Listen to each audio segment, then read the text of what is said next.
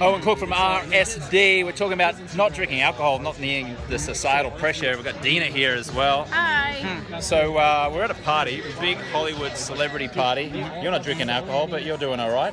Uh, you know, I, I gotta tell you, uh, I took a I break. tell you to drink. You can be social uh, without drinking. This is cool. So you don't you don't need to even drink. You can act like that when you're sober. The ladies here oh are going. Oh. See, and the and they, and they get drawn in. Look at this, When you they do love it. it. She feels my vibe. Yeah. She's like, no. that man drunk. Can I take advantage of him? Oh, yeah. Oh yeah, you want Really to you want a good you want a piece of that? I, I, I'm thinking about it. Can I hide my number in your beard? yes, exactly. and you can look for it later. I can find it later. Yes. Wow, look at that. That's what happens. You don't drink alcohol at a party, and the girls just start lining up. Yes, that's how. That's the secret. That's the actual secret. That's how we do it. But you see hmm. guys going out hmm. trying to pick up girls. It's sad, needing yeah. drinks to super get sad. drunk. Super right? sad. Super sad because you're you're dependent on a crush just to perform a basic life function. That's not the direction to go. The direction to go is to grow beards Yes. and wear glasses. Yes, and That's how we do it. And wear glasses That's like the these. better direction. And on, on an RSD boot camp, real social dynamics uh, boot camp, you actually say ban alcohol, right? They're not allowed to go. Yeah, because that's like a seminar environment. Like people like like it's like oh okay, well we're like at a club, but like you're trying to recall this shit. Like okay, like it's like the program's not like let's get tanked.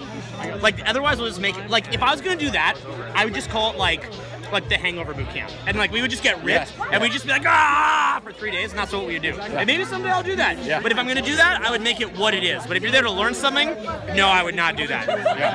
I go. I mean, I. The, the funny thing is that when I quit alcohol, I got.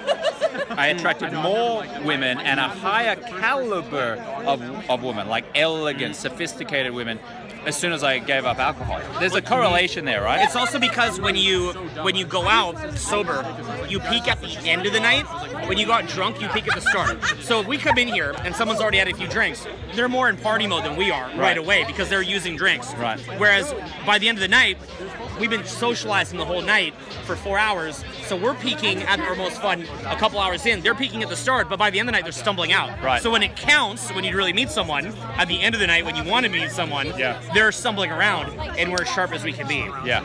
So, you know, do you want to peak early or do you want to peak late? Do you want to have a hangover or do you want to feel great the next day? That's kind of how I feel about it. And you've never drunk heavily or, or In high school, in high school? yeah, it- many years ago, it was interesting. I mean, I, I don't regret it. It was cool to like just see what it's like to be like, okay, I feel my face, fuck yeah, like like it was neat, but it's not something I need to keep doing. Yeah. I don't need to keep doing it again and again. Like I've, I've seen it, I've done it. I'm good. I don't need to like keep repeating it. This man right here is a legend, and let me tell you right now, once he does anal once, he's gonna do it again. Love you, brother. Thank you so much for your beer. Thank you for thank you for bringing the intellectual part to the conversation. Yes, I appreciate you. appreciate that. yeah, there you go. There you go. He's obviously had a few, few to drink. You know. Maybe. Maybe. Well, there you go. Owen Cook, thanks, buddy. I appreciate, Okay, appreciate thanks. his time. And thank you to the um, to the to, to Dina and Connor over here, and to the other lovely ladies. Click, click the link here. 30 Day No Alcohol Challenge. Subscribe. Send this around. See ya. All right, I'm here with former NFL legend T.O. Mate, uh, I'm the creator of the 30 Day No Alcohol Challenge. How much alcohol do you drink these days?